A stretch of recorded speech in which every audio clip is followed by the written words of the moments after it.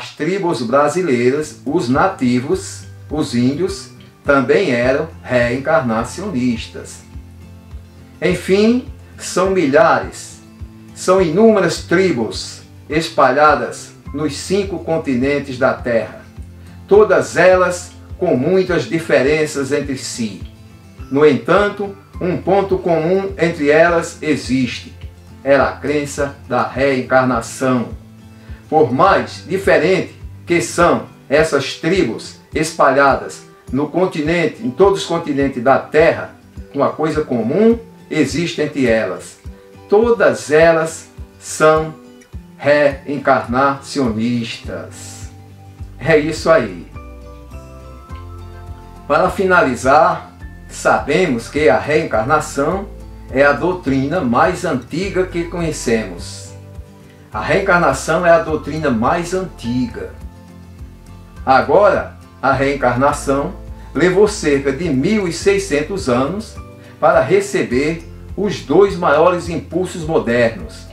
O primeiro, em 1857, com Hippolyte Léon Denisard Rivail, que adotou o pseudônimo de Allan Kardec, de quem se dizia ser uma reencarnação. Ele codificou a doutrina dos espíritos e criou uma nova religião, o Espiritismo.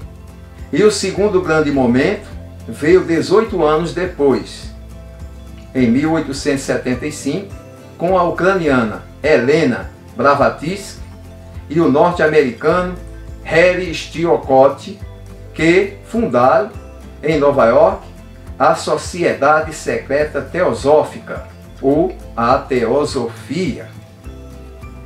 É isso aí. E vamos para nossa curiosidade, você sabia?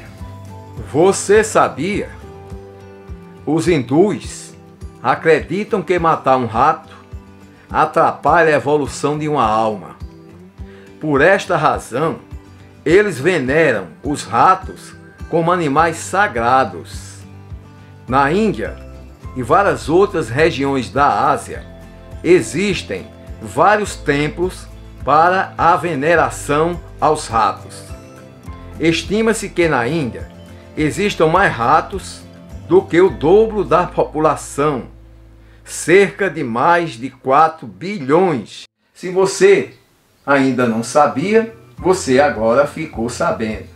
É isso aí, gente. Este assunto é muito extenso. Demandaria muitos vídeos, demandaria muitos TikToks.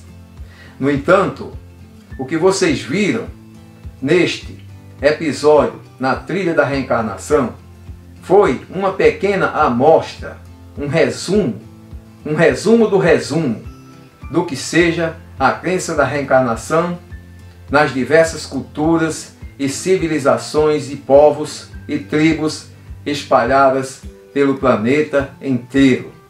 A reencarnação é a doutrina mais antiga que conhecemos. Se você gostou deste vídeo, está gostando da série Na Trilha da Reencarnação, inscreva-se no canal, acione o sininho, comente, deixe a sua dúvida e nos ajude a continuar motivado a sempre mostrar conteúdos interessantes. Muito obrigado a todos e até o nosso próximo encontro.